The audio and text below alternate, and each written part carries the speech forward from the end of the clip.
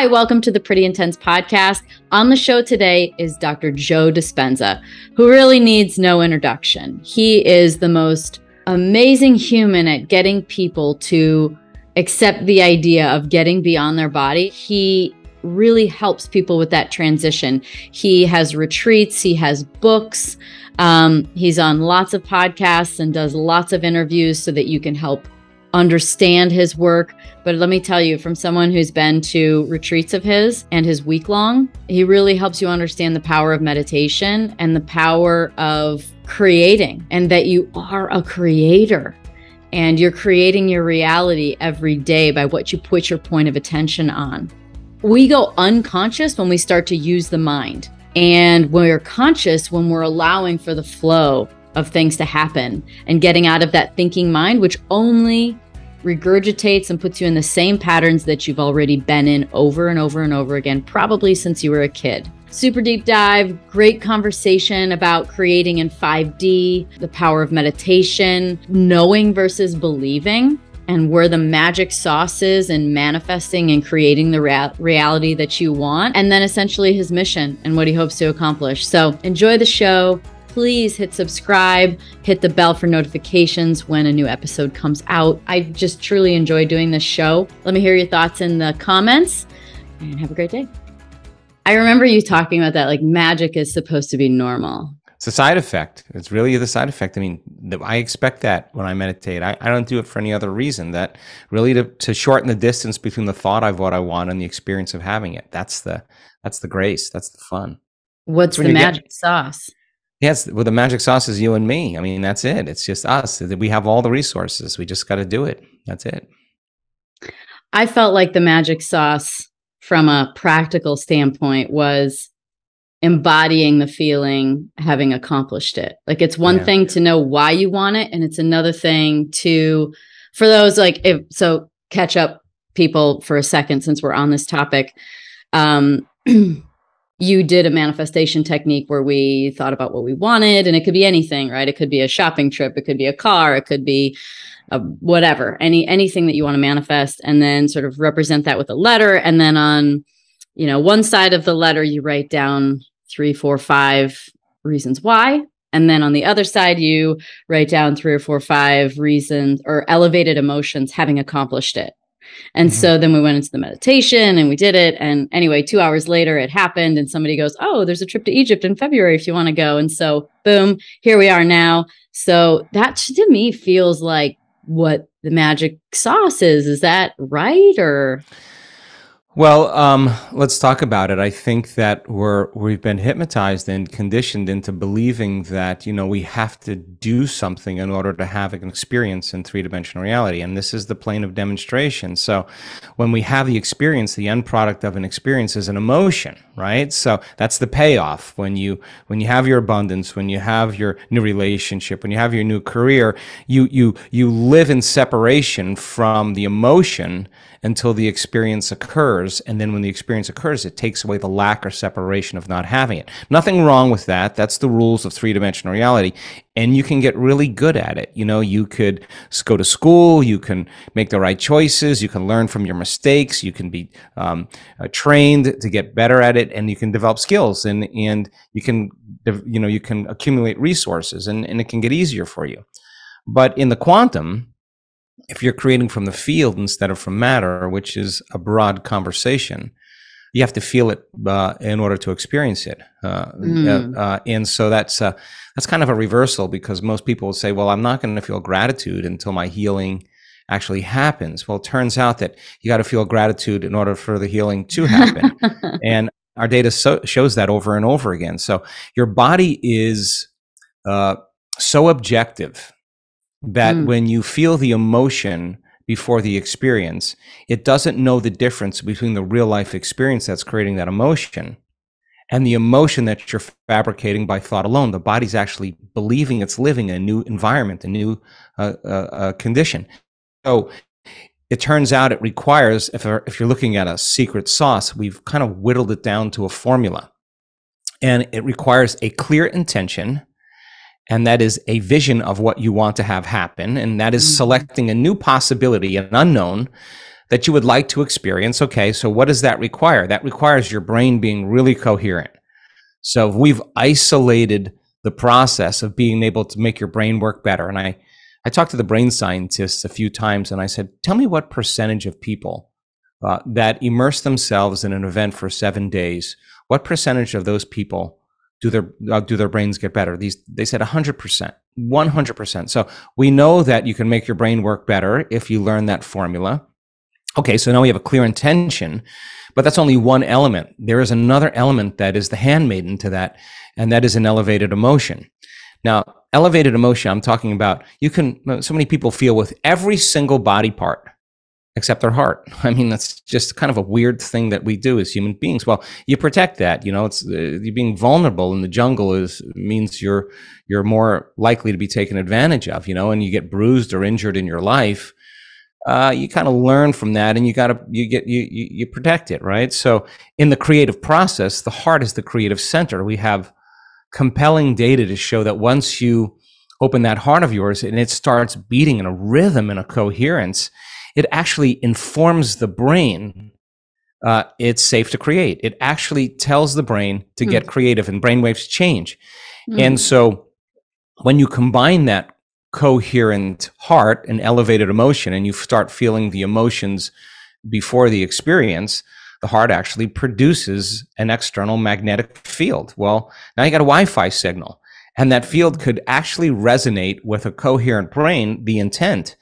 and the thought is the electrical charge that sends the signal out it's the directive and the elevated emotion that that feeling is a magnetic charge and we've got enough information to show that the heart's the magnet. So you're going to draw the experience to you with your heart. So when there's a kind of match in frequency between some potential in the quantum field mm-hmm. and what you would like to experience, and you keep tuning in to that potential, and you're you're actually creating from the field instead of from matter, the rules change. Yeah, yeah. Now you don't have to go anywhere to get what you want. Somehow the experience finds you and it comes in unexpected and surprising ways to prove to you that you're actually a creator in your life. And so true. When that occurs, then it's no longer like I have to meditate. It's actually like I'm not going to stop doing this because I don't want the magic to end.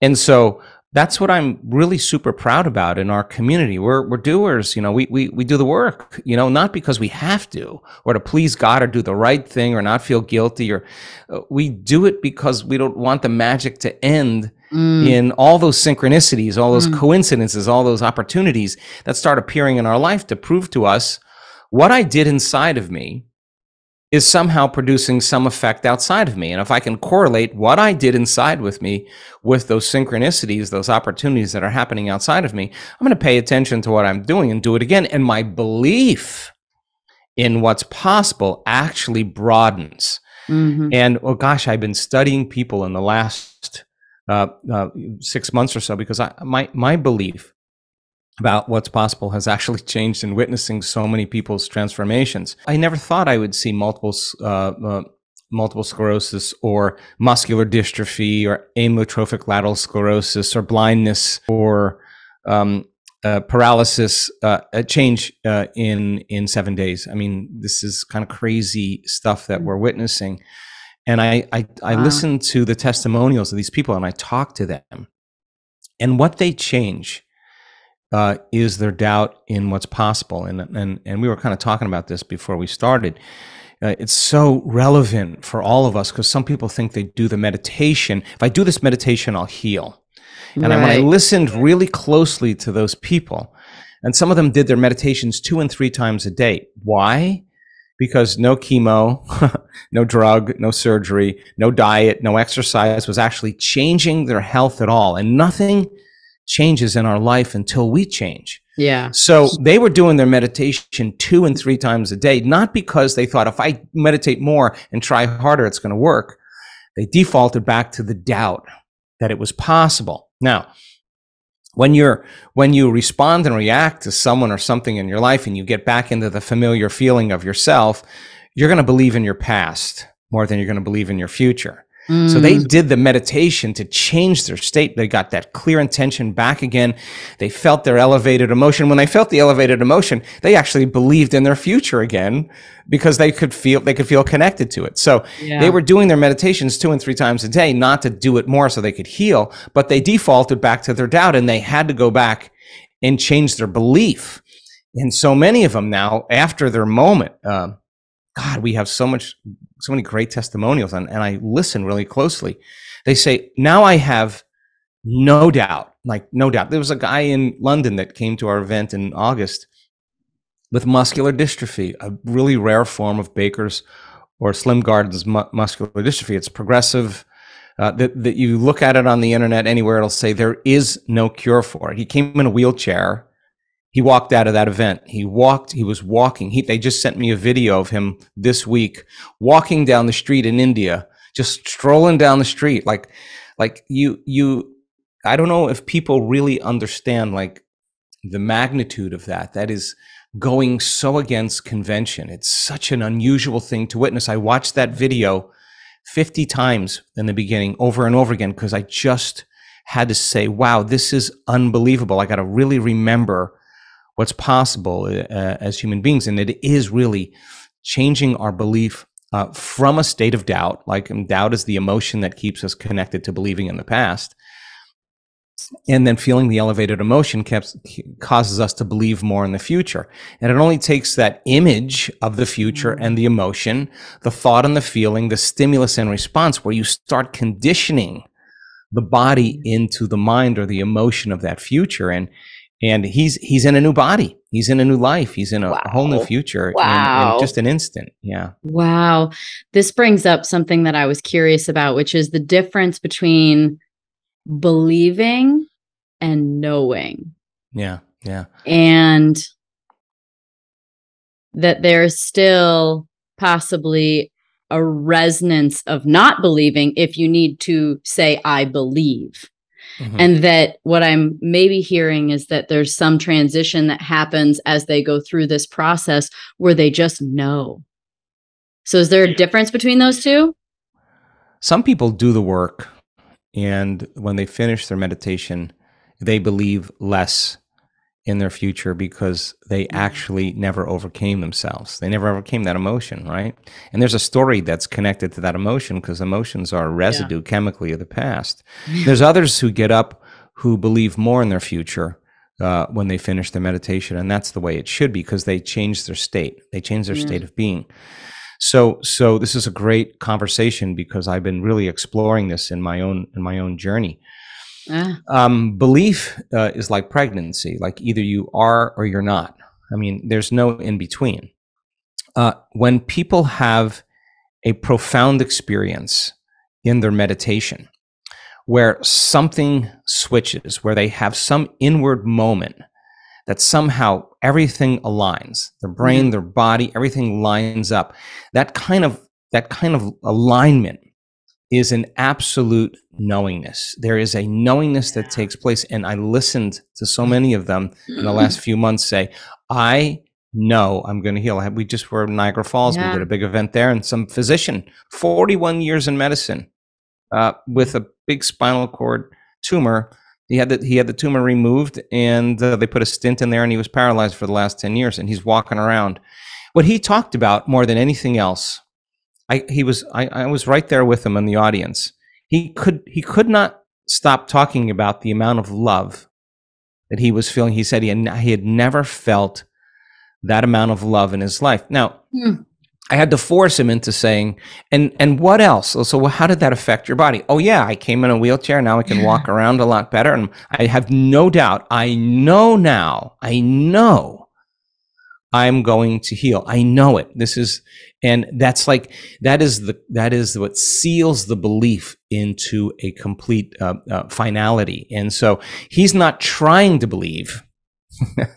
he, he knows, he exactly. knows that he knows. And, and there's and, no effort. Yeah, exactly. So, so many times people during their meditation have an inward event that has such a profound uh, experience for them that they realize that inward event produces a feeling of love or some connection that's transcend, transcendent of language, mm-hmm. where they where they it, it, the amount of love or the amount of uh, joy or the amount of bliss or ecstasy that they feel from that moment is a really important moment of reckoning because they realize it's not coming from anybody out there. It's not yeah. coming from the relationship. It's not coming from their wardrobe. It's not coming from their diet. It's not coming from their sports car. It's not coming from Netflix. It's not coming from social media. This is a really profound feeling that they never ever felt before. Yeah. That moment of connection somehow causes a biological upgrade in the body and in that moment, there's a alignment to a future where they already know. And it's not like they're trying to know. It's the side effect of some inward event. And, and now they live their life in a state of knowing. And that's so much better than doubt, you know, or disbelief. Yeah. I went to your retreat at the end of 2020 and there's a lot of talk about 3D versus 5D creation.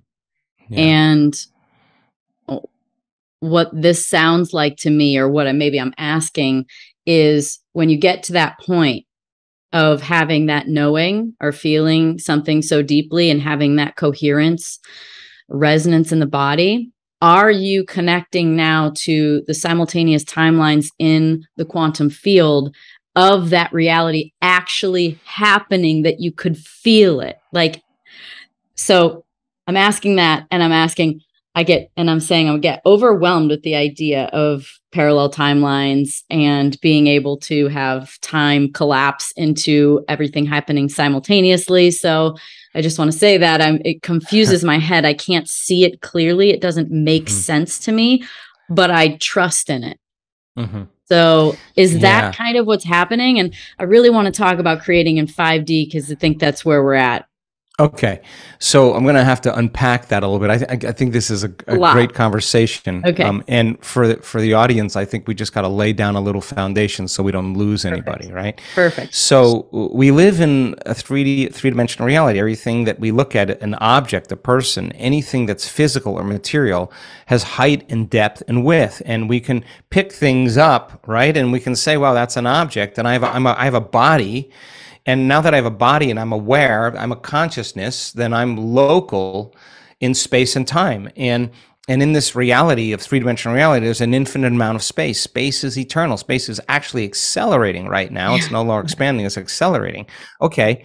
So we know that space is eternal. And the way we experience time in three dimensional reality is we have to go from one point of awareness, like I'm stand, sitting here, and if I want to go to my garden, I put my attention on another point of awareness. That's my other point of consciousness. Now, if I want to have the experience of getting to my garden or picking a piece of uh, fruit off my uh, tree, I have to move my body through space. And when I move from one point of awareness to the other point of awareness, that that interval is called time. So everything in three dimensional reality takes time to create. You mm-hmm. you you experience separation. I'm here and you're there, and everything's separate from me. And so our senses plug us into three-dimensional reality. Think about this. If you weren't if you were lost all your senses, you weren't seeing, you weren't hearing, you weren't smelling, you weren't tasting, you couldn't feel with your body, you would have no experience of three-dimensional reality. And yet you would be conscious and aware, but you would have no interaction with anything physical or material. Okay, that mm-hmm. makes sense. All right. So then the way we get about creating our future is that we say, okay, I want to have this new house. I want to have a dog. I want to have a new relationship. Uh, I want to live in this place.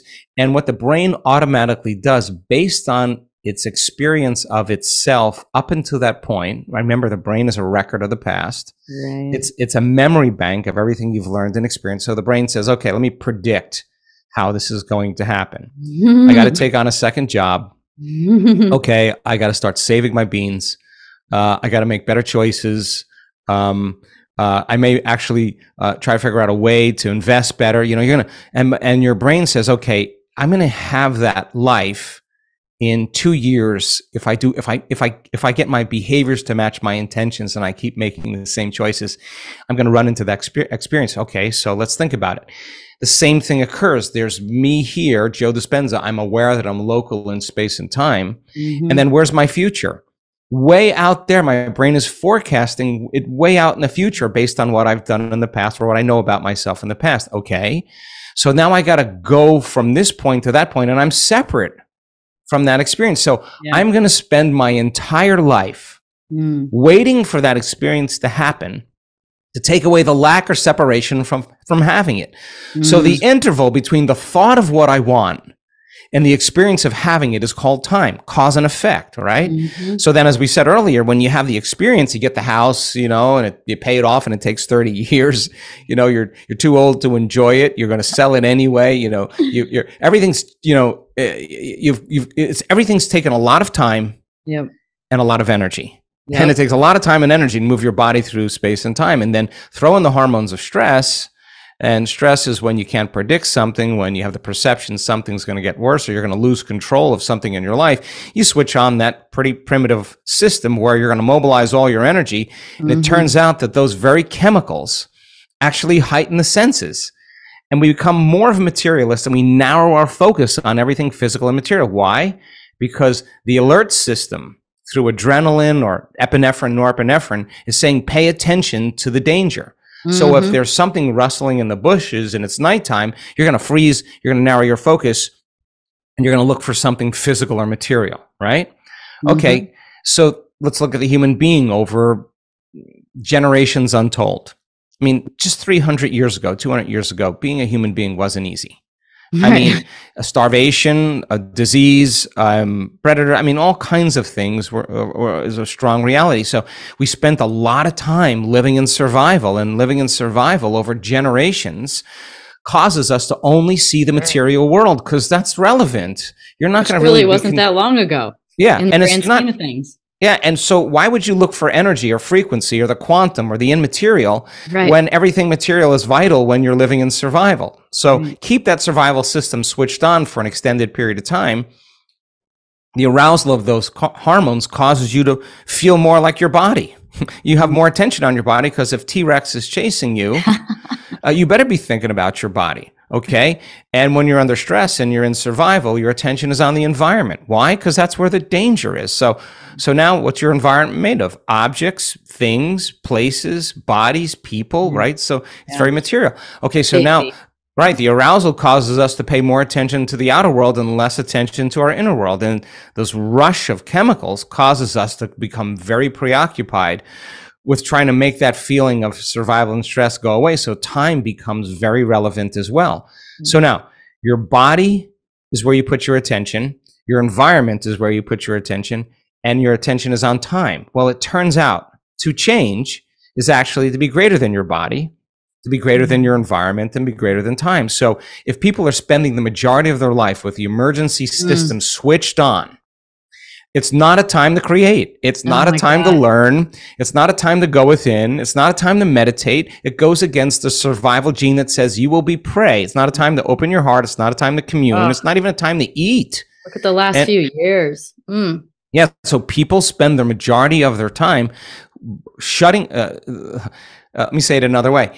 So then, so then, when a person is living in survival and they're trying to control and predict and change everything that's going on in their life, every person that they know, every object or thing that they own, every place that they know or have lived or go to, and everything they've experienced in their past, they're going to try to predict in their future. So now the arousal of the stress hormones causes the brain to fire out of order because every person, every object, everything has a different neurological network in the brain. Now the brain is firing incoherently. And when, it's firing incoherently, we're incoherent. At the same time, you're sitting in the Zoom meeting and it's not T Rex, it's your coworker. And you're actually producing the same chemicals as if you're being chased by T Rex, but you don't, you're not running, you're not fighting, you're not hiding you're doing sitting there and those, those chemicals are running through the body and the heart is actually pumping really hard because it's turned on and it's got to run, fight, or hide. And you're sitting there and the heart is actually pumping against the closed system and the heart starts to become incoherent. And when incoherence takes place in the heart, the interference of, of waves actually causes energy to drop in the heart. So now you have no energy in the heart, you have no energy in the brain, and now the person is living in their animal self, in that animal nature, right? And so they're waiting for something to change in their outer world. They're waiting for something to change in their outer world to take away this feeling of fear or anxiety or frustration or impatience or resentment or pain or suffering or guilt or shame. And they're living by that emotional state and they would rather cling to those memories and those emotions because at least it's the known, right? And it's survival. Why? Because in survival, the unknown, you better run from the unknown. There's better chances of survival. So nobody takes a chance, right? Okay, so so then back to the 3D world then the Newtonian world, the classical world of quantum physics is all about, uh, uh, Newtonian physics is all about the predictable, right? And We can shoot a rocket to the moon if we know the distance and the speed of the rocket. We can determine the time it's going to take to get there. So this three dimensional reality is all about predictions, right? Okay, well, you can get what you want, but you got to work really hard and it's going to take a lot of time and energy. You can develop the skills to get it. Okay. Now, so is there possibly another way to do it? I mean, okay, let's look at another way. Is there another way to actually do it in a shorter amount of time, to shorten the distance between the thought of what you want and the experience of having it, between the cause and the effect? From one point of consciousness, uh, I'm here, and another point of consciousness, I want the experience of this here. Is there a way to do that? Okay, well, let's unpack the whole model of quantum physics. Okay, so you look at an atom an atom is 99.99999% nothing. And I say nothing, I mean it's energy, it's nothing. It's a point zero zero zero zero zero zero zero one percent physical and material. And it is and a science. Yeah, that's what we're made of. And it's a scientific fact. It's the, the mathematics prove that we're perceiving less than 1% of reality. Okay. So what we're perceiving then is the frequency of light, the wavelength of light coming off the sun, which is the, the rainbow, mm-hmm. bouncing off of objects that give us the illusion of separation in three dimensional reality. Okay. That's, that's what we're seeing, right? We're seeing and experiencing the material world by light being, being projected onto it take away the light out of three dimensional reality, um, you don't really have a whole lot of experience of it. You bump into a lot of things. I mean, take away all light. Okay, mm. so so the the the atom is both particle material mm-hmm. and wave. Mm-hmm. And what's mm-hmm. wave? What is wave? Frequency. What is frequency? Energy. What does frequency and energy do? They carry information. Yep. Okay. So the quantum field then is that invisible field of energy of frequency that exists beyond our senses that we're not perceiving, but it still exists. Just because we're unaware of it doesn't mean it doesn't exist. Okay, mm. so how much of your waking day in your waking life do you put your attention on matter? And how much of your waking day do you put your attention on frequency and energy? Well, throw in the hormones of stress and your attention's on your body, on the environment and time. Where you place your attention is where you place your energy. Mm-hmm. So now mm-hmm. all of your energy and attention is is invested in this three-dimensional reality and it appears really real because that's where our attention is. Okay. So in that state, we said, okay, if the quantum field exists, we know it does. Uh, we're just unaware of it. We can experience it with our senses. The only thing that we can experience it with is our awareness. Okay, so let's think about the quantum field. Yeah. Let's take away everything physical and material in the entire universe. Let's take away all the bodies, all the people, all the things, all the objects, all the places. Take away the earth, take away the moon, take away all the planets, take away all the moons from the planets, take away the light from the planets, take away the sun, take away the light from the sun, take away the stars, take the galaxy, take away all the light from all the stars. What are you left with? A vacuum, a void. Nothing physical, right? It's just it's it's nothing. Waveform? Waveform? It's just energy. Exactly. Energy it's all well the You've same experienced that at some point? Yeah, the, so the same energy that's made up uh, is making up the atom is the same is the same exact void or vacuum that the entire universe sits in. So so okay, so we discovered that if we ask people to go from a narrow focus uh, where they're focusing on something physical and material ask them to expand their focus or broaden their focus and take their attention off of everything known, everything physical and material, and keep investing their attention and energy on nothing, somehow the brain gets very orderly and very coherent. uh, different compartments of the brain that were once divided start to unify. Now, that void, that vacuum, that immaterial, that nothing, the ether, the formless, the structureless, whatever you want to call that, is pregnant in possibilities. Mm-hmm. Now, in that realm of the quantum, you have to cross through a door. And what we discovered is if you take your attention off your body, you take your attention off of everybody in your life, you take your attention off your cell phone and everything that you everything that's physical and material mm-hmm. you take mm-hmm. your attention off where you're sitting where you sleep where you live where you work where you need to be and you take your attention off the familiar past or the predictable future and you find the sweet spot of the present moment and you go to this place of being nobody no one no thing nowhere and no time you're disinvesting all of your attention and energy out of this three-dimensional reality and the moment you do that, you cross through the fourth dimension, which is time. Mm-hmm. And that's yep. the moment you become pure consciousness. That's the moment we call getting beyond yourself. Mm-hmm. Now, people are so conditioned that they're a name, they're a face, they're a body, they're a diet, they're a disease, they're a profession, they're a personality, they're an identity. You have to lay all of that down. You can't walk through the door to the quantum field as a somebody. You got to walk through as a nobody. So that process of getting beyond yourself it takes it takes a couple days in our retreats for people to actually disentangle from their programs and their conditioning and and their unconscious thoughts which makes up 95% of who we are by the time we're in the middle of mm-hmm. our life to to to to be greater than our unconscious habits and behaviors and really work with the body that wants to feel an emotion from something and you're sitting there and it's getting agitated and impatient and frustrated and all you're doing is sitting there should tell us volumes about ourselves. So that process of overcoming the self is actually the process of becoming somebody else. So mm. the person can linger as pure consciousness and emptiness in a vacuum and a void and be comfortable there. They're they're existing in the unknown that's where all those possibilities exist and we enter a realm called time space. Now that's the fifth dimension. Now this is heady, but just hang in there with me. In the quantum, there's an infinite amount of time. Time is eternal. Now, mm-hmm. if the, if time is eternal, if it's there's an eternal now, imagine how many things you could get done if you had an infinite amount of time infinite number of possibilities. That's the quantum.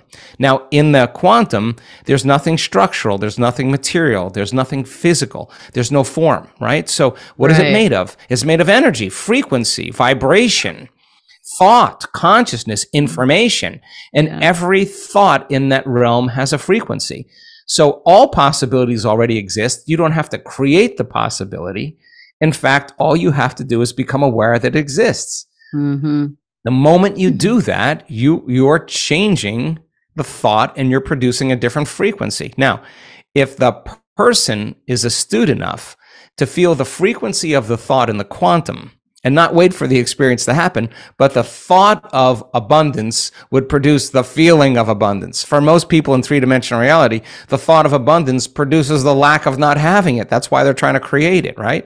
But in the quantum, you got to feel it in order to experience it. Okay. So as you get closer and closer to that point, that source, that singularity, pure love, the zero point field, whatever you want to call it, universal mind, that the creator, pure consciousness, as you get closer and closer to it, the closer you get to it, the more bliss, the more love, the more, the more, um, ecstasy you feel, uh, then you're not no longer creating from lack or separation. The closer you get to it, in the process of creation, the shorter the distance between the thought of what you want and the experience of having it, between the cause and the effect, from one point of consciousness and the other point of consciousness. So then people can create from the field instead of from matter if they have a coherent brain and a coherent heart, and they actually can send the coherent signal out and feel the emotion ahead of the experience then those synchronicities and opportunities that they're creating from fifth dimensional reality requires doing less. Somehow it's drawn to us or it comes to us. It comes in ways that we least expect that surprises us. Like, whoa, where did that come from? And now what does that do? It proves to you that you're the creator of your life, that instead of the victim of your life. And what's a victim? You say to someone, why are you feeling this way? What's wrong with you today? And they say, I am this way because of that person, because of that circumstance. What they're really saying is that person or circumstance is actually controlling my feelings and controlling my thoughts. Well, anything that's controlling my feelings and my thoughts, I'm victim to, right? So yeah. it makes sense then that when things are good, you, you feel good. And when things are bad, you feel bad, right? So, so when you start changing the way you think and feel and it starts producing outcomes in your life, you're going to believe you're more you're the creator of your life and less of the victim of your life. And, and the hardest part about all of this is just making the time to do it. Ah, well, you just landed on I have two things I want to ask in mind, but the first was why is it so damn hard? Like, why is it so hard to get to that place where you can, whether it be believe that leads to knowing, like, why, what is, what are those big hurdles for people to get over? And, you know, one is making the time to do it, but then there's like being in it and actually in it being hard like I struggle with that sometimes. You where you really em- to to embody the the feeling and to really like get yourself there. It's it feels like there's so many blockages. It's a difficult mm, thing to yeah. achieve. Yeah. Well, I think it's it's so much easier to forget this information than to remember it. I think it's uh, I think we're wired huh. so wired uh, to for such limitation, you know, and and uh, as I said, my belief about human potential has changed so dramatically. So the first thing I think is so valuable is this information and the right information. Sure. You know, we do really best our best to combine quantum physics with neuroscience, with neuroendocrinology, yeah. with psychoneuroimmunology, mind body connection, epigenetics, protein metabolism, cellular biology, electromagnetism. Why? Because if knowledge is power, yeah. knowledge about yourself is self empowerment. So every time you learn something new, you're forging connections in your brain. But the research mm-hmm. shows if you don't repeat it, you don't review it, you don't think about it, they prune apart within hours or even days. So if learning is making those connections, then remembering is maintaining and sustaining them. Okay. So if you can build a model of understanding with people and nothing is left to conjecture, nothing is left to superstition, nothing's left to dogma, Mm-hmm. And they mm-hmm. can learn that information. And instead of getting on their cell phone and scrolling through their social media or looking at whatever, watching TV or getting distracted, if they learn that information and they have the opportunity to teach it back to somebody, and they begin to share that information in right in the event, right? And it's like so in the, the, retreats. In the retreats, yeah. you, when you when you give information to people, you're like, okay, now talk to talk about it to each other, and we yeah. stop and we talked about it, and and it's it, it become if you don't understand the information well enough, you can't explain it. Yeah, it's not wired in your brain. But right. if you can explain it, you're right. installing the neurological hardware in your brain right. for what? In preparation for the experience. So we've discovered the more mm. you understand what you're doing yeah. And why you're doing it, yeah. the better results, the how gets easier. And you assign meaning to the task. And when you assign meaning to a task, the prefrontal cortex turns on and says to the brain, shut up. Mm-hmm. Quiet down here. This is a moment where I want to really execute really well. And it silences all the other circuits in the brain so you can focus on a single minded thought. So if there's doubt, if there's conjecture, if there's superstition, then there's hope and there's trying and there's wishing and there's wanting. But if you really can understand the what and the why, then the how becomes so much more instrumental. So because you install the circuitry in your brain to do something with it. Okay. So if we give people numerous opportunities to experience the truth of that philosophy, that theory, that knowledge, that information, that's still, it's still void of experience. Get hmm, enough mm, yeah. people together and teach them, instruct them how to do it, give them numerous opportunities to overcome themselves, numerous opportunities to connect. Mm. Sooner or later, they're going to start figuring it out. And that's what happens at our events now. So when they have the experience of doing it well and they feel the emotion, like, wow, that felt really good.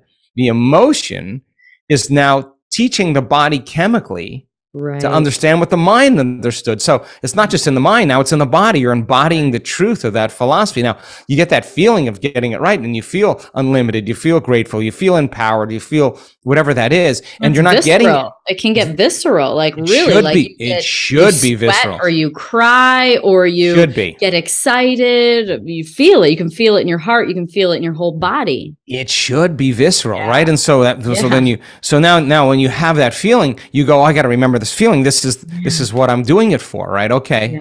So so then if you've done it once, then you got to be able to do it again and mm-hmm. that's the that's the that's the key and if you can keep repeating the experience you start mastering the knowledge and mm-hmm. you neurochemically condition your mind and body to begin to work as one and when you've done it right. enough times well you know this you're you're you're you're, you're excelled in, in, in uh, automotive racing so you, it gets automatic it gets easy it gets second nature the things that you had to put so much conscious attention on in the beginning you actually don't have to pay a lot of attention to because you've kind of mastered it's hardwired now it's automatic well, programmable right? Right, exactly. Which leads mm-hmm. me to what I'm curious. I'm like, I want to have a little bit of a almost a philosophical or maybe perspective conversation on what are we and tell a story that I experienced. I went ahead and gave myself a hero's dose of psilocybin and experienced myself as waveform. All that reality is is inter like intersecting with these waveforms. Sometimes they cross, sometimes they go over each other over and over again, whatever. All that's what it was. And that to get back to being human, I had to agree to uh, the mind, which essentially was the ego, the stories. It's the lie. I knew it wasn't mm-hmm. real to be human, but that I had to agree to the mind to build that construct. And so that kind of fits in with the things you're saying is is being in this waveform and so it makes me wonder what are we? And then when I think about you explaining us as humans, whether it's breaking the habit of being yourself and reprogramming yourself, like your book, or you know the things you just said, it's like we're a lot like a computer. What the hell are we? well, well, look, I mean that's a that's a pretty heavy question, but yep, but I you're will, up for it. I will tell you that at our very nature, we are divine. At our very nature, we are the blooming of material, which and material reality, right, is is the most stable form of energy. That's really what it is. You start climbing up closer to source, and it gets way more fluid, way more uh, dynamic. But but matter is the slowest frequency that we perceive with our senses, sure. and so mm-hmm. so that so that that one percent of reality that we perceive, don't exclude yourself uh, in that equation. You're part of that. There's a 99% of the unknown self that has fallen source from singularity, from oneness, from wholeness, from pure love, all the way down into density, fooled by our senses into the illusion of separation. Why did we come from source? Because well, we were one, and, and then what if we were many? And what if there's, is there anything else but oneness? And that question starts the whole journey of every single person having a piece of source in them to answer the question, to explore, is there, is there, what, what, what is, how big is eternity? How much can we experience? And now the journey is down in the density. Uh, and then you experience everything. And then all of a sudden you get to a point where nothing is making that feeling of emptiness go away. And you ask the same question. This is when the soul wakes up and you start wondering, is there anything else besides this? Is this it? And that's a moment we start remembering that we are divine. And so at our very, at our very core, we're, we're, we're pure love. That's what we are. And so, so then the, the journey is to discover the unknown self. The, the journey is, can I heal myself? Uh, can I, if I heal myself, can mm. I heal mm. somebody else? Which mm-hmm. is, you have data to show that you can. If I heal myself and I heal someone else, can I heal someone else at a distance? We have data to show that you can do that. These are all new experiences. Yeah. And the feelings that come from the experience of people who are actually healing another person. Mm is a feeling that's transcendent of any anything in the three-dimensional world. The, the the watching a mother whose child was born with a birth defect that never engaged with her brothers or couldn't hold her head up and was listless after one remote healing is now smiling and looking at her brothers. I mean, in the mother who tells that story, um, you know, we're all on the call there and we're sobbing in so much where there's an empathy that takes place where you're you're mm-hmm. contributing into someone's life in some way and you're sharing the feeling that that person is feeling. And the yeah. greatest form of gratitude is when we receive gratitude. So you're part of someone else's transformation and pro-social networks switch on and the species of human beings does something so important. We move right. closer together. We commune. We trust. We support. We inform. We love. We heal right we shine and and then our appreciation for everything in the moment we see more beauty in the moment stress hormones divide us mm-hmm. separate mm-hmm. us because mm-hmm. us to be selfish this is the, the so who we are who, as a less of who we really are Exa- exactly. We move further away from love, right? So, of course, speaking from my present state of ignorance, what I've discovered is that when people have that moment of connection, we see this on the brain scan. Their brain scan goes into such an aroused that scientists that look at it actually think the person's having something really wrong go on with them, you know, because they think seizure, they think, what is this? But the arousal is not coming from fear. The arousal is not coming from pain. And the arousal is not coming from anger or aggression. That's what typically switches on the arousal system. This arousal is ecstasy. This arousal is bliss. This is the person actually dipping into the divine and touching it. And they feel it in every single atom in their body, all mm. resonating in order. The side effect of that is some transcendental experience that produces a shift in the perception of the way they perceive reality. The right. spectrum of reality is broadened, right. and the feeling is not chemical. The mm. feeling is kind of electric. It's kind of frequency, it's energy. And that person right. many times has a biological upgrade. There's the tumor on their throat. Now it's gone. There's mm. the Parkinson's disease. Now it's gone. There's the eczema now it's gone. There's the paralysis from the surgery. Now the person's walking. There's an their, their, their interaction with energy and frequency is mm. causing a part of the brain called the autonomic nervous system, the limbic brain, is is resonating in such high frequency. Remember, stress is autonomic dysregulation. Mm-hmm. This is autonomic, high amount of autonomic regulation, and every cell in the body is getting informed mm-hmm, mm-hmm. with more wholeness, more oneness, more love, and um, the cells emit more coherent light and information, and the person all of a sudden realizes never was outside of them. So the journey back to source, the journey back to oneness, the journey back, everybody gets to you can be anybody you want to be in three dimensions. you, can be any character you want to be in the virtual reality experiences, the simulation that we're experiencing.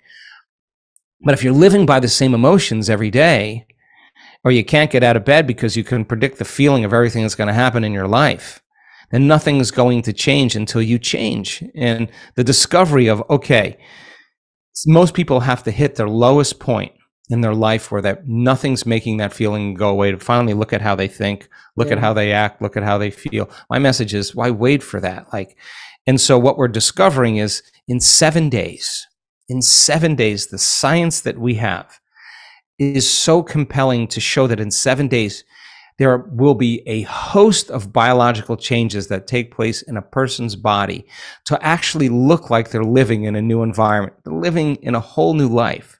So then, getting over yourself to answer your mm-hmm. question is the difficulty. That's why people will say oh, it's too hard for me. But what they're really saying is, I don't believe in it. I don't really don't believe in it. Because if you believe in it, you got to show up.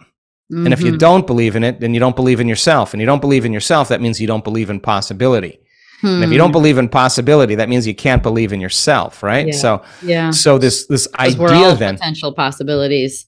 Exactly. If we're connected to everything, what you're saying is is that when people have this upgrade, they connect with more of themselves with essentially essentially if we're not we're not separate from anything then you connect with more of yourself and you get bigger. Your energy exactly. gets bigger. You get upgraded. Makes me wonder like what is consciousness then?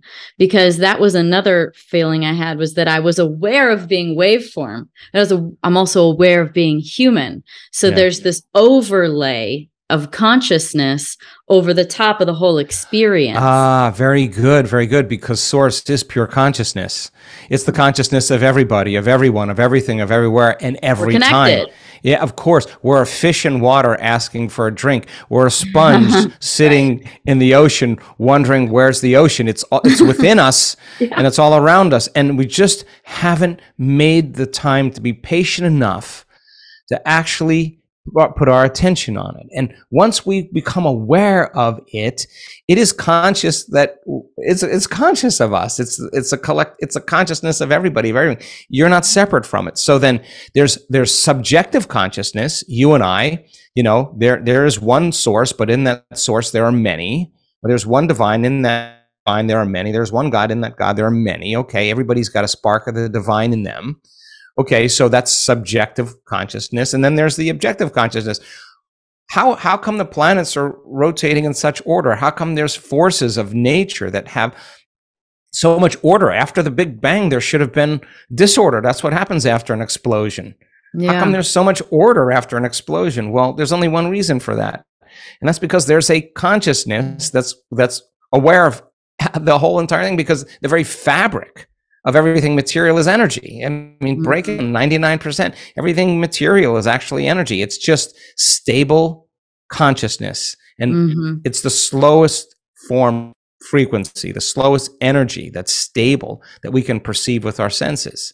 Mm-hmm. Climb up the scale cl- closer to source, and it gets very, dy- very dynamic and very different. So, so the discovery then of consciousness and its never-ending process of self-discovery and answering the question is there more? Because most people wake up in the morning and the first thing they do is, since the brain is a record of the past, they think about their problems. Those are memories that are etched in the brain that are connected to certain people and objects, certain things at certain times and places. The moment you start remembering your problems, you're thinking in the past. That's what a memory is. Every one of those problems has an emotion mm-hmm. associated mm-hmm. with it. Mm-hmm. The moment you feel unhappy, the moment you feel discouraged, the moment you feel frustrated, now you're in the past. Thoughts are the language of the brain, feelings are the yeah. language of the body. So most people unconsciously take that thought and that feeling, that memory, that emotion, that stimulus and response. Yeah. Now the body is the mind. So when it comes time to change and you got to step from that known familiar feeling and make a different choice and step into the unknown, the body says, uh, listen, um, you think you've been running the show here for the last 20 years, but actually, I've been running the show. I've actually been telling you the choices to make so you can feel that familiar feeling to reaffirm you. It's an incredible computer. We're just a simulation. So the body gets conditioned there. And now to overcome the body, takes a will that's greater than the program to to right. no longer get up and run through the same routine that you do every day. And your body wants to in the middle of meditation saying quit i'm too tired you got too many texts you got too many emails you got too many things to do. The body's been programmed to get up and go. And you and you say wait wait wait wait wait a second here. We're not going anywhere until i get clear on who i want to be today. Mm. and every time you execute that will that's greater than the program, people say, "Oh, I'm I can't meditate." Actually, you're doing it right. Mm-hmm. actually, that's why it's hard because doing it. You're actually that is the process right there. There's no such thing as a bad yeah. meditation. Yeah. What you're doing is actually exactly what you need to do. And every time you do that, mm-hmm you become conscious that you go unconscious. That's how you actually develop the skill of consciousness. Mm-hmm. It's not being conscious, it's catching yourself when you go unconscious. Yeah. And people, if they can see Thinking that. is the unconscious, essentially. Right. Conscious right. is connecting to everything, which right. is in the space of nothingness, really. But there's a journey to get there. Yeah. And if you're patient with yourself and you see that as a victory, like, oh, yeah. oh, you start getting aroused, you start getting frustrated, you think, oh, I can't do this. And you go, oh, no, no, no, no, no, no, no. Yeah. We're not going to quit here. That would be me getting up as the same person. I'm mm-hmm. curious what's on the other side of this frustration. You settle your body back down into the present moment, you unfold back into that eternal space. I'm telling you, every time you do that, it's a victory. You're telling the body it's no longer the mind, that you're the mind. And yeah. it actually turns out that the body starts liberating energy it starts liberating energy. But like an unbridled stallion, it goes, "Oh, really? You think that's all? You think that's all you have? Watch this." And then it gets starts bringing up memories of the past and mm-hmm. all of that just to feel an emotion. And if you're aware that it's doing that and you mm-hmm. settle it down, you're you're taming the animal. Yeah. You're teaching it. You're yeah. you're teaching it how to change its state, right? And guaranteed if you keep doing that, you walk out in your life, I guarantee you'll be less responsive and reactionary to everyone and everything. So in seven days, we see that not only there are dramatic biological changes to suggest that the person for an environment, but it, it goes for the majority of people that immerse themselves in going all in. And mm-hmm. what does that mean? A different environment. They're in a ballroom they're in a ballroom. I've been to thousands of ballrooms. There's nothing really exciting in a ballroom. What's exciting in a ballroom? They all look the same. But the data suggests that they're in a whole new environment. Where where is that where is that taking place? It's taking place well, from within the person. Closed-eyed internal world is of course. everything. Everything. When you open your eyes, you get locked into static things that just exist. But when you close your eyes, and this is kind of one of the things that different states of being, whether it's induced by meditation or plant medicines or those things, they show you that there's a whole big universe inside when you close your eyes. But when you open them, it slows things down. It's almost like I had the feeling like being human is actually a pause because there's so much information available that this goes, okay, so there's a picture, there's the window, there's a, okay, and then my dog and Right. um, and it just feels like, you know, you get to slow down for a second, but in that closed eyed world, there's a lot Yeah. there. Yeah. It's really slow here. It's really slow here. And and everything material is actually a symbol. And every we're perceiving it as a symbol because we couldn't handle Oh, yeah. all the information, be able to function Mm, all at mm. once. That's the challenge. That's exactly what happened. In that waveform, I was asking questions and getting answers. And I am a, I like, I have a lot of questions. I do Which too. is why I interview people. I do too. yeah. and so I was getting all the answers every time I asked. And it was like rapid fire. And I popped up after like two hours and I'm like, I just can't hold the frequency. It's too much information. And that's when I said being human is a pause from all the information. I can't hold that frequency. And that's what made me realize that's why we have to grow and um, gr- like raise our consciousness level slowly because it's Slowly. too much information. Otherwise, Mhm. it's too overloading. You would short circuit. You just shut down. You, I can't do this anymore. But there's Yeah. so well because there's everything, which is essentially back to the five D. Is that you know, and I go like that because of how you described it, like three Ds. You know, A to B. Linear. Yeah. Five D is is is all now. is vertical. All now. Yeah. All now moments. All now. And All so possibilities exist. Everything in that space. in the and I present got moment. every answer I wanted. Yeah, it's a lot, uh, and and I think you're absolutely correct about that. I mean, to fall from singularity down into density, uh, you had to forget that you were oneness. you have to Yeah. forget. It You also forget. reminded me of that. I was like, that's Yeah. why we forget too, because otherwise you couldn't you couldn't participate in this reality if you knew this wasn't real. Right, and you th- we really think that this is real. We really and, do. and, and it's actually and actually this reality couldn't exist without the other one, right? So, so Have so you ever I- had an experience like that? Have you? Am I Yeah. speak? Have you? Can you? so so i mean my my whole thing uh, what i love uh on my own journey is really is really the mystical i mean Yeah. the mystical being the unknown of course Yeah. and and and that process of self-discovery when you truly hit that fertile void that beautiful place where of singularity where your consciousness is actually merged with the greater consciousness there's no separation Right. um, the thought of what you're thinking about actually gives you the exact experience or the information because it's all information there. Um, a, a, a whole portal of possibilities open. My hope is that when I come back to three dimensional reality, that I take a piece of that with me because every mystical experience that I've ever had, I've always come back and said, Joe Dispenza, you got this all wrong, dude. It's you got it all wrong. You're it's not the way it is. It's not that way. And so some veil, yeah. some conditioning, some illusion Pulling is away. removed and all of a sudden I see things how they really are.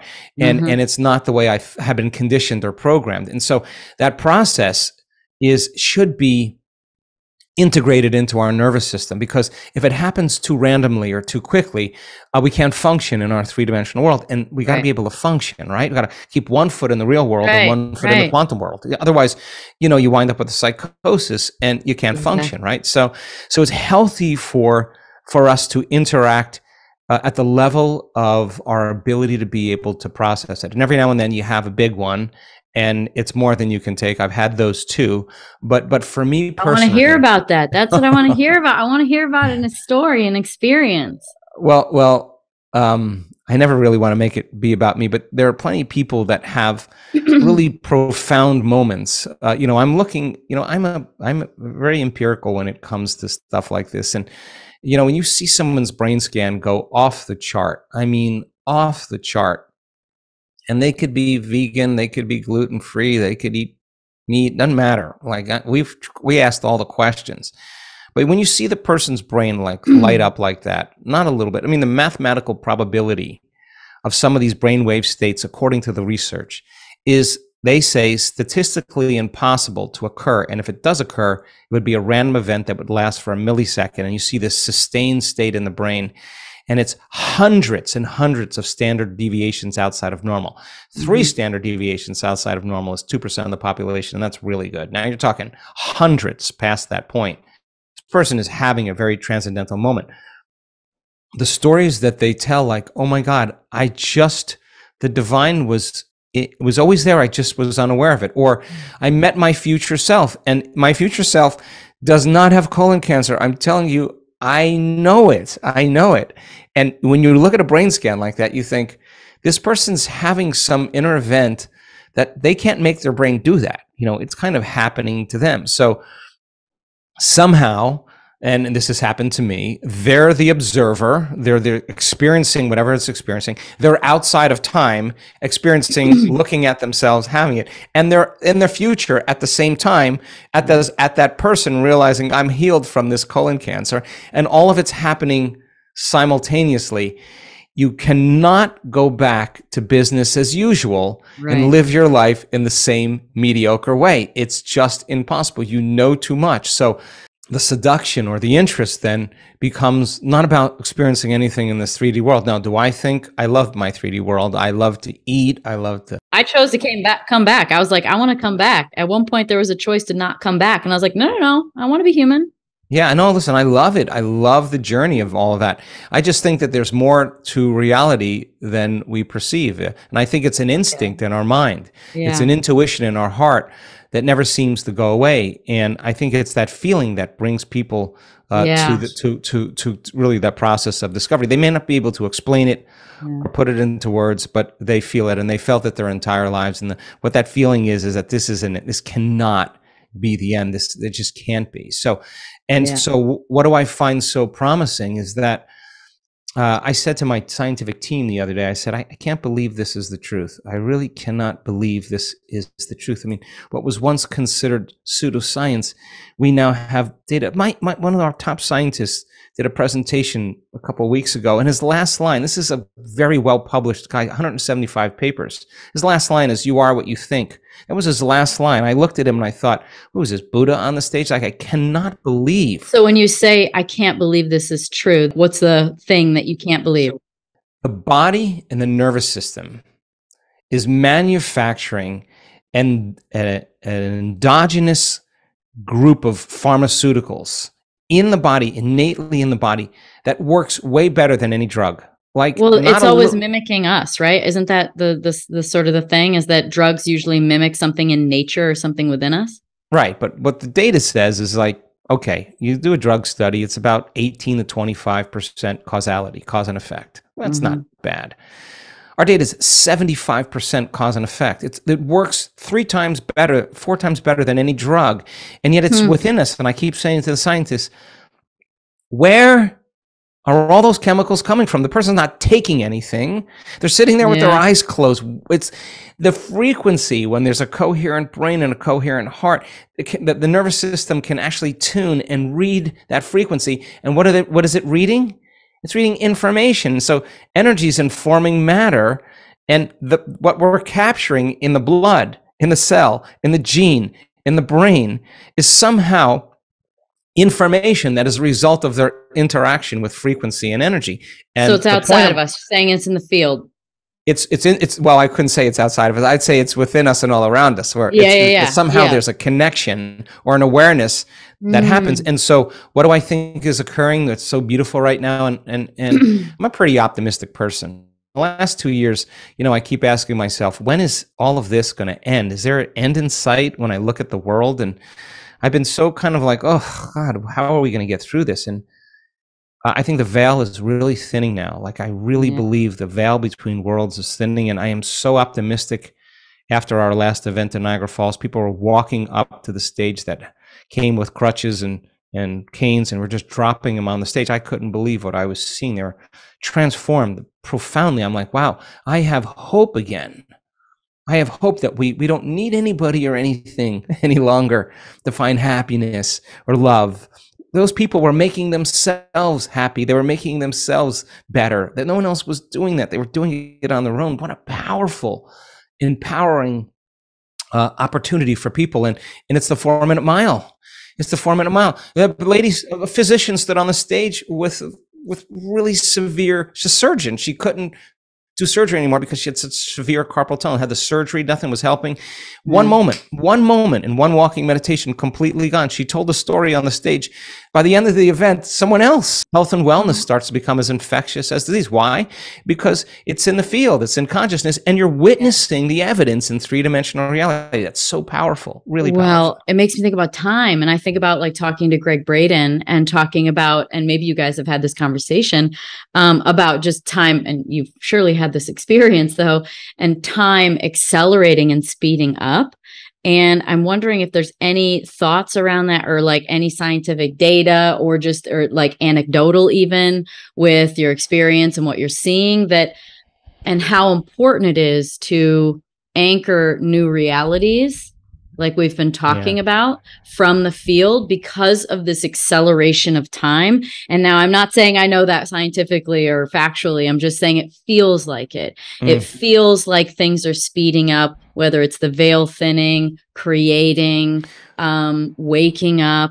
Uh, it just feels like that. So, what have you experienced? Um, I'll explain. For me, I'll explain it in two ways. I mean, one of the ways is unfortunately technology is actually causing us to experience more things in a shorter amount of time. Okay. I mean, yeah. Yeah. Yeah. We can do so much yeah. more in a shorter amount of time.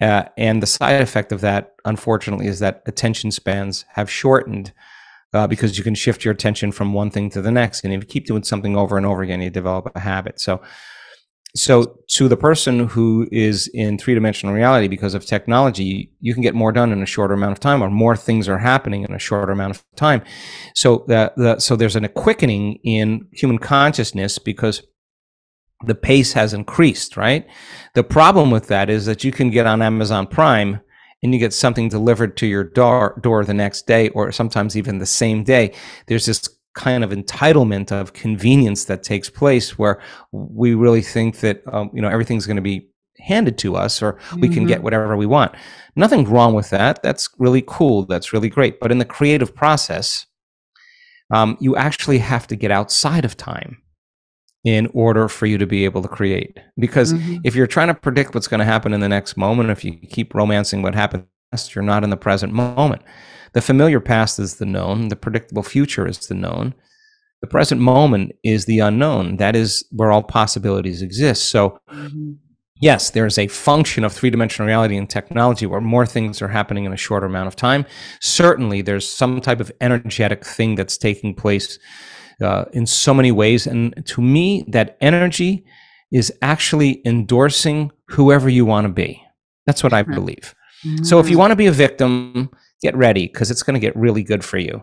Hmm. Uh, because that energy is more available. If you want to heal, wow, there's a lot of people healing now, and they're using that energy instrumentally yeah. in a positive way. Hmm. So, so yes, there's a quickening that's taking place, and it's creating quite a contrast or extremes that are taking place in reality. And the more extreme it gets, the more unstable the system, right? So, uh, uh, governments, um, um, journalism, uh, education, religion, medicine, uh, everything's kind of fallen apart, you know. Um, uh, mm. And and it's very obvious to people that has to happen for a new consciousness to emerge. The thing is, we can't face these changes uh, programmed because we'll just add to uh, the chaos. We actually have to be relaxed and awake instead of stressed out and unconscious. And we have the data to show that when you're relaxed and awake, amazing things can actually happen to you instead of in survival, stressed out and in a program. So yeah. in order to create out something new,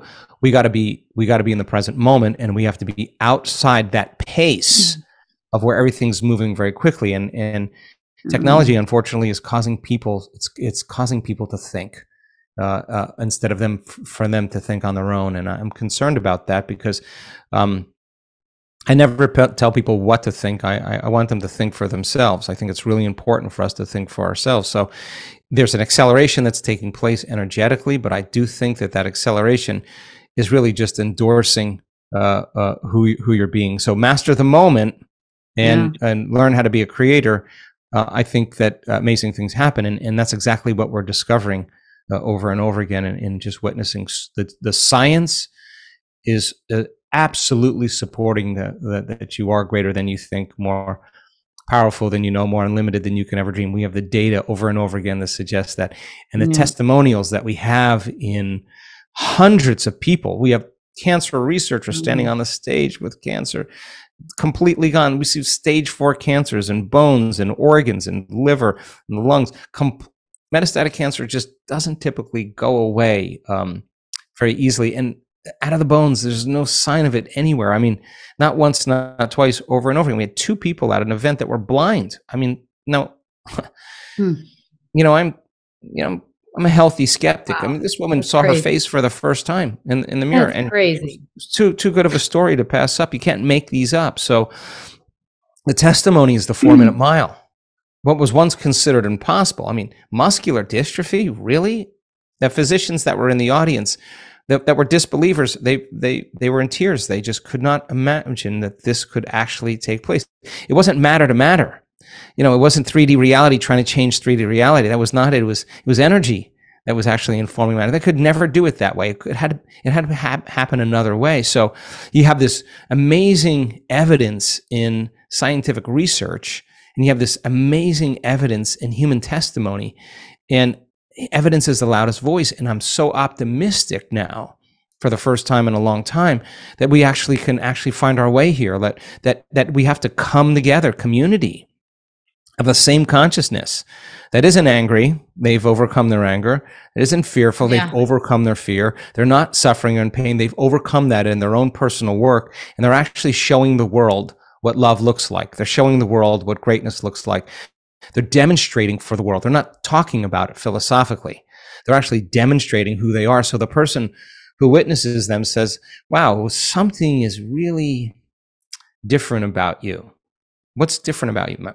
I don't know. Well, there's something different about you because the person is not the the person who's perceiving them doesn't match their memory of them any longer. There's yeah, something different right. about the person, and that's exactly what this world needs. That collective networks of observers wow. determine reality. Do you believe in that hundredth monkey theory? I do. I'm actually. I'm. I'm not. It's not that I believe it. I, I know it now because I'm seeing four people with Raynaud syndrome in one event all heal. I mean, I mean that is that is a collective. That's a morphogenic What's field. What's the there. possibility that we see the hundredth monkey theory uh, come into effect on our level of consciousness globally within our I think, lifetime? I think as we get close, as, as time speeds up, like it is, it gets more and more unpredictable to determine when it's going to happen. But I will tell you this: I'm so optimistic if we can continue uh, staying awake, relaxed and awake, and continually doing the work and keep pushing the edge of what's possible. The brain, it's really funny, you know, the brain actually changes the most when you get to the point where you think you can't go any further. If you go mm. past that point, if you just go past that point, Mm-hmm. That's when you see the greatest brain changes. And so right. we actually push people past that point and we yeah. give them some tools what to do there. And lo and behold, we, we see it young people, old people, we see it educated, uneducated, we see uh, healthy, sick. I mean, it doesn't matter. It's uh, none of that matters. It's just, it, it's, it's just their, their ability to be able to execute. So well, it's the reprogramming. It's, com- it's, it's, it's like unprogramming, reprogramming. It can, you know, when you, you know, use a fire what wall service to you know burn things down. It's alchemy too right? It's some mm-hmm. sort of alchemical process happening where you are like short circuiting something and growing something new and growing pains are called that for a reason. Well let's say let's make it really simple. If we are pure love if you're on the journey anything that is not love and you must die or in order for you to find yeah. true or true love, pure love, a part of you must die. And I think that's yeah. the difference between right. knowing the path uh, uh, and walking right. the path. And walking right. the path is really what it's about. Right. How do you, as you move through your life and you have done such phenomenal things and continue to do more and more, how do you get your information to know what comes next? Like where what direction to turn your head to turn your energy where does that come from and in what form um, well i never planned on doing any of this really Um, yeah, my theory from the very beginning is uh, when when this kind of started to become of interest to people, I just said to my staff, um, "Here's how it's going to work. Um, I'll only go where I'm invited. If I'm not invited, I'll be a chef. I'll do something else." And so, so um, I'm constantly building my model of what I understand, and I'm like you, always have a thousand questions. Now, mm-hmm. it's so much better for me to sit down and take a few minutes and instead of turning on my phone or doing anything. I actually like the process of contemplation. I like the process of saying to myself, so what do you know? Or at mm. what point or at what point do you stop believing that this is the truth? Let's get right to that point and let's let's build that understanding. So I'm constantly building my model and then I'm tearing it down. Mm. And then I'm mm. challenging it and building it up again. And if I can't find like there's something that doesn't fit, then I got to find information somewhere that makes it fit, that makes sense to me. But then it's not enough for me there. Then I got to like, then I got to experience it. Like someone said to me, so what do you, someone said to me yesterday, so what are you doing in your morning meditations? I'm like, well, it's really funny because I'm, I'm actually developing a new understanding, a new model, and I want to teach it at the follow up uh, uh, next month. And I'm actually practicing this this new meditation to have the experience so that I can teach it better. So if I can have the experience yeah. of that knowledge yeah. and the model that I build, I know the journey and I can teach it much better. So I work really hard at being the example of, of what I teach. And I work really hard at getting information either from, uh, well, references or whatever, but also the information that I love to get that comes to me when I start connecting and then it all kind of makes sense. And so I think of many ways as I can to teach it, but I also love to have the experience because when I have the experience, then I can really teach it. Yeah, uh, on, a, on, a, much Embody. deeper level. Yeah, and and then now the other thing is just the the scientific data. You know, we were just all on a research call yesterday. The data is so so amazing right now that I can say so many more things with such conviction. I can say things now with conviction. I mean, uh, I can say like I I actually know that this is the truth. It's, it's so and having that kind of conviction for me personally uh, allows me to trust more. And and when I trust myself more, I trust the process more, uh, and I can stay in that kind of uncertainty and that unknown and not not move into survival. Uh, or I'm or better yet, let me say it another way. When I'm uncomfortable because I don't have an answer, mm-hmm. and I can continuously keep it on my mind and I don't, you know, I always have it going somewhere. And I'm, while I'm doing other things, always, I'm always thinking about it and trying to figure it out.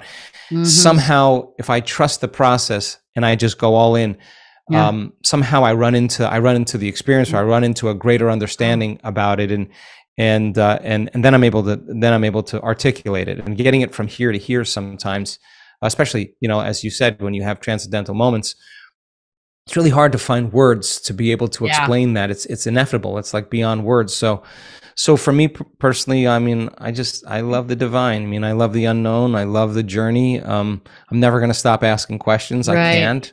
Um, every every new experience that i have forces me to think of an infinite number of possibilities from that experience that i would have never thought of without that experience. So to me there's not infinity there's infinities. Like this is never ending process here. Like oh, now we're on to the multiverse. Oh my gosh, the oh, so overwhelming the universe, but also so amazing. So okay, all right, we'll wrap it up. Like what you work your butt off. You do these retreats. You, oh my god, like you do every meditation. It's insane. I can't i can't i just can't imagine. I know that there's an aspect of energizing yourself through connection and but then there's also it's just also also it's also a lot.